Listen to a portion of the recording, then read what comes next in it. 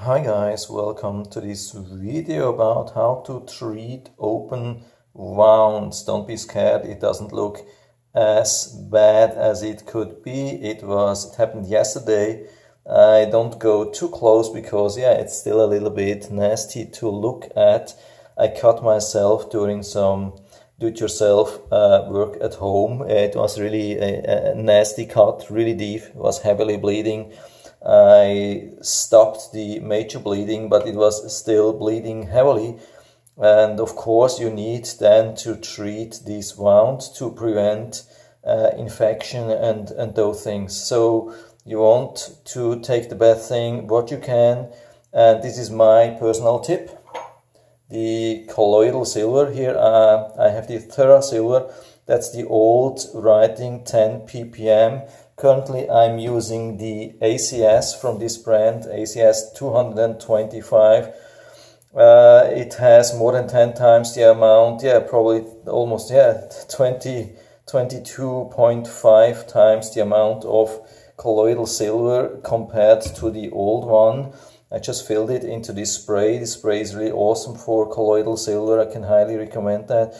And by the way, I'll put down the links to this bottle, which is also light protected, which is really important if you use uh, colloidal silver.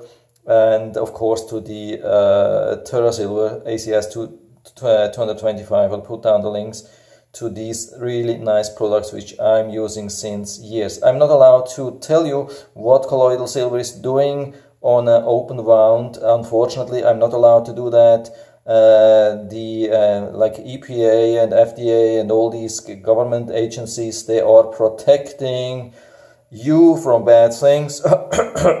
Or they are protecting maybe other guys. Yeah so yeah make your own decision.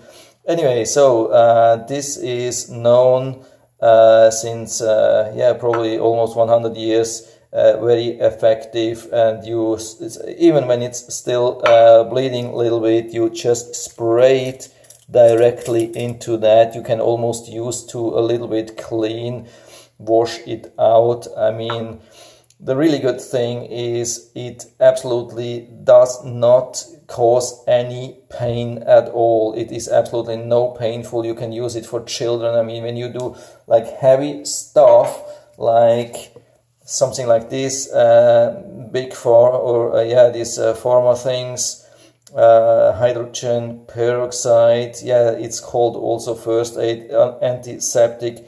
Uh, such things are causing really heavy pain, probably this thing as well. I'm using this as rubbing alcohol, but when it comes to wounds, then uh, the only thing which I am using, yeah, it's not, not much left in this spray bottle, but the only thing which I am using is this thing.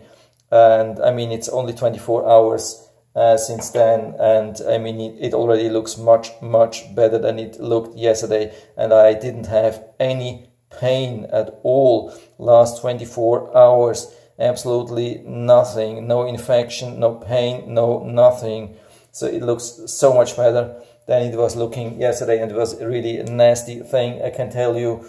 So my full recommendation, but if you want to know how this thing works, you have to Google on your own. I, am not allowed to tell you what it does, but um, yeah, I can highly recommend this thing. So I don't want to uh, make this too long. Uh, it's enough. I just wanted to let you know what I'm using and yeah I'll give you the links down below into the description.